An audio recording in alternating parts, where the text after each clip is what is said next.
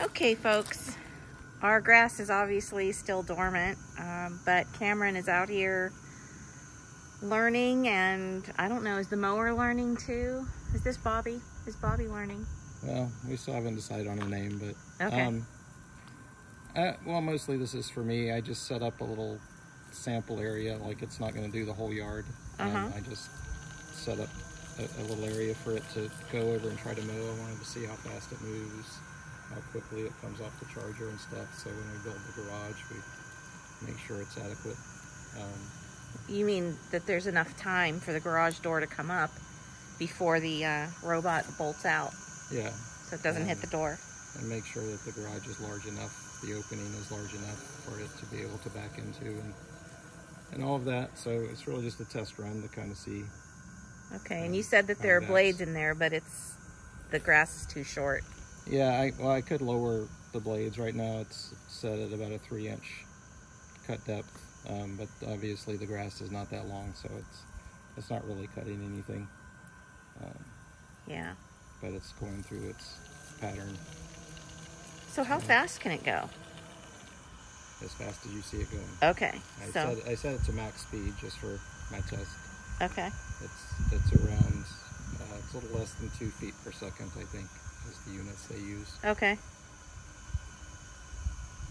So what's it doing right now? Is it thinking or It's mowing. It thinks it's mowing. The sa- I said an Oh, okay. for it to mow, and I Oh. told it to go mow it. I see. So it goes back and forth across it as you see it doing. You know, it turns around. It makes stripes. Okay. Um, you can choose the angle you want those stripes to be. When that gets done, it will mow a perimeter to clean up any spots. Because like when it turns around, it doesn't necessarily get all of the grass, but it overlaps its stripes so that it gets the grass as it cuts stripes. And then it will do, I mean, it's currently set for three passes, so it'll do three perimeters to clean, to clean everything up around the edges. Okay. So what do you think so far?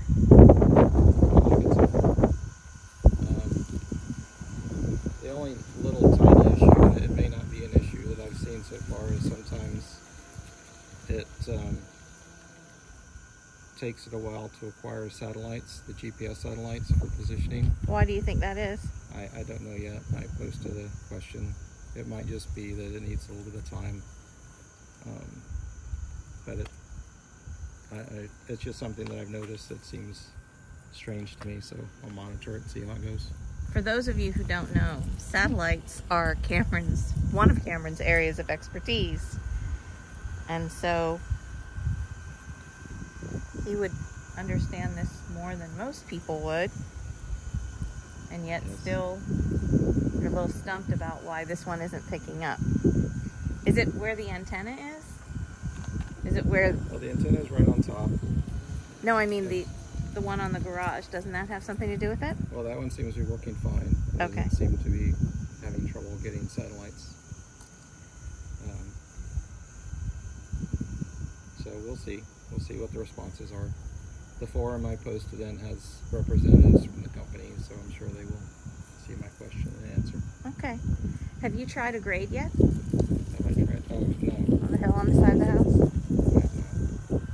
But everybody online seems to think it doesn't have any trouble with, with those. Okay. And this will cut like designs and stuff into the yard. Like I could do a peace sign. You could. Get in trouble with the HOA. Yes. So, well, and you said that you think that with the whole yard, the backyard, the sides, and all that, you think it'll take a couple of hours to mow? Uh, I don't know for sure until I get it all set up, but Seems like it Kinda. wouldn't. kind of. You're not going to always want it to cut at full speed Oh. either, probably. But I don't know. Now see, there looks like a there's like a perky patch right there that's green, but no, he's not gonna go over it.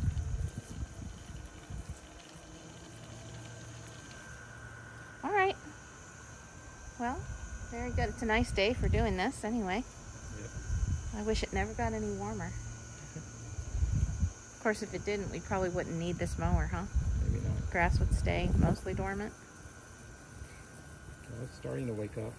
Yeah, but it looks like awful. It's all flat Yeah. from the snow, probably, huh? Well, and being dormant. I think it's doing the perimeter now. The perimeter of what you set it for, not the perimeter of our actual yard. Yeah. So you still need to teach it. Yeah, but I'll, and I also need to get the charger in the right position. Yeah. Um, but yeah, I still need to teach it all over yards, which Oh, very interesting. I'll come a Oh. little further. I wasn't very smooth with my lines, so I see. All right. Well, we're all in the learning phase then, right? yep, Okay. Well, thanks for talking to us. sure. Okay. So, I don't know if you guys can really tell. Cameron says he thinks this is about a 28% grade. I said 26. Oh, 26. Sorry.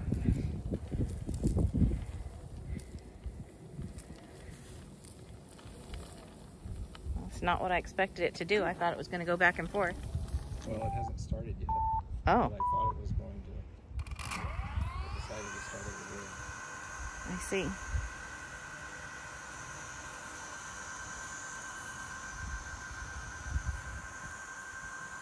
So one of the things that we were curious about and asked questions about was how it would handle a slope, a grade. Uh, because we have, I don't know, this is pretty deceptive in the video, but it, it's actually pretty steep.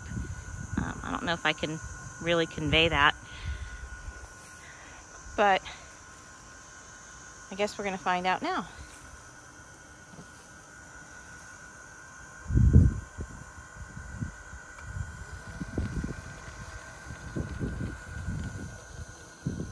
This is not at all what I was hoping for in terms of. Yeah, I, I thought it would start over there since it was near that side, but.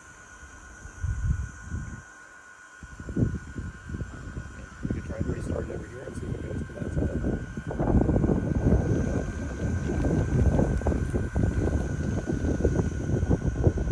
Of course, downhill is no problem.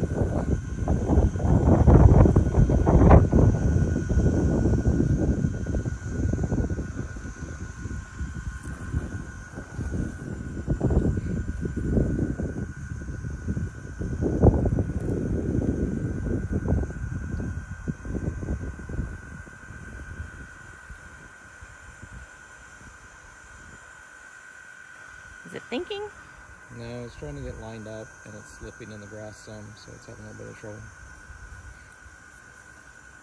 And I have it set for these multi-point turns um, because they should tear the grass up in this. Um, it also has a little bit of Okay. And you said that this weighs about 40 pounds? uh, I think so. Well, it's a lot lighter than Bobby's tractor. He's probably weighing in at, what, five, six hundred pounds? Those tractors sometimes tears. Yes, right. You also don't necessarily want to run this. Like you don't want to run it back to back in the same day because it might. I mean, you can see one of those spinning right there. if It's trying to turn around. That's why it's having a little bit of trouble. So do you think that for the purposes of, you know, like day to day, you know, making it mow, do you think it should run up and down this hill or do you think it should run back and forth? I think we have to try it and see what works for us. Um, most people recommend that you do slightly different, or you do different angles each day to make it um, so that it won't be turning, spinning its wheels in the same spot all the time. I see. But it might be that running parallel to the hill or perpendicular to the hill might work, but it might not too because it's going to be fighting. Let's try it. Right. So just let's try it and see what works.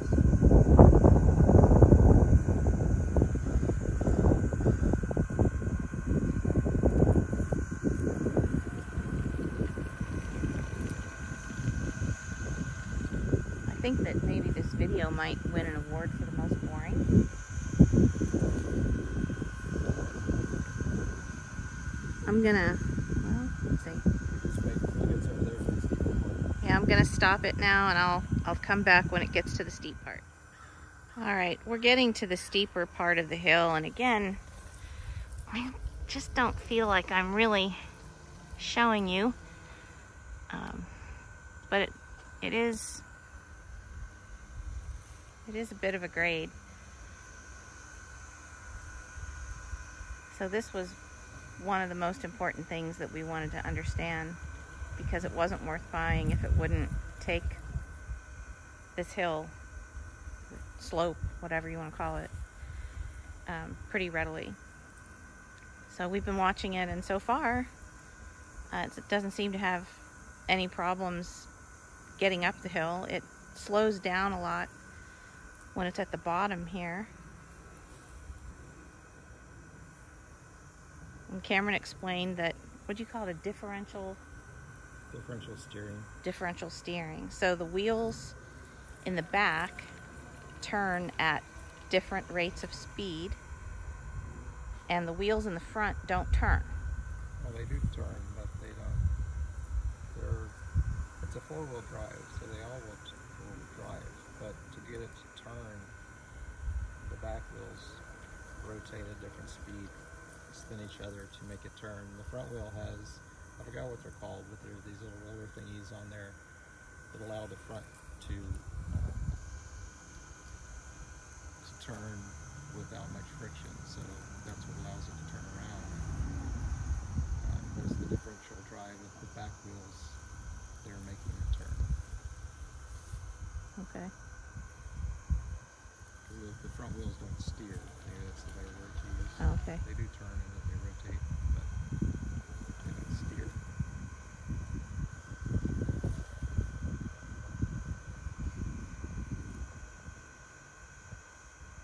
So you said something a minute ago off camera about it trying to find north. No, I said that I set it to mow at an angle. Like you have these angle settings, so you can choose which direction you want your stripes to be in. Okay. But it doesn't uh, necessarily align that with the area. I assume it was probably aligning it, aligning that angle with north. And why do you assume that? um, it doesn't necessarily have an understanding of the layout of the yard. Because you haven't So- taught it yet. Right. Okay.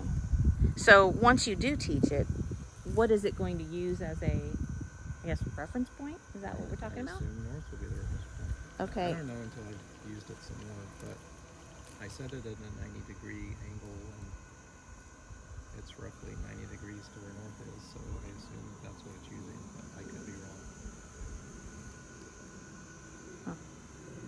Okay. So, well, I think we know that it will do the hill. We don't know whether it'll go parallel to the house because you said it could be fighting the hill the whole time. Yeah, well, I, I assume it probably will, but it, again, it, it's going to be, the hill's going to try to be turning downhill, and so it's going to have to be kind of constantly doing this differential steering to stay on the hill, which means it might start making marks in the yard. Okay. I'm also seeing we do want to be very careful and probably not try to mow this side when it's wet. Yeah. I mean, you shouldn't really mow when it's wet with this mower anyway, but um, it's gonna slip a lot when it's wet. Yeah. That's going to get interesting when we get these big rainstorms that last for three, four, five days. The grass is going to be high. Yeah, we'll have to see what happens. Yeah. Yeah, I don't, I don't May end up having to get a small mower for me to be able to do things when it can't, but we'll see when that happens. Yeah.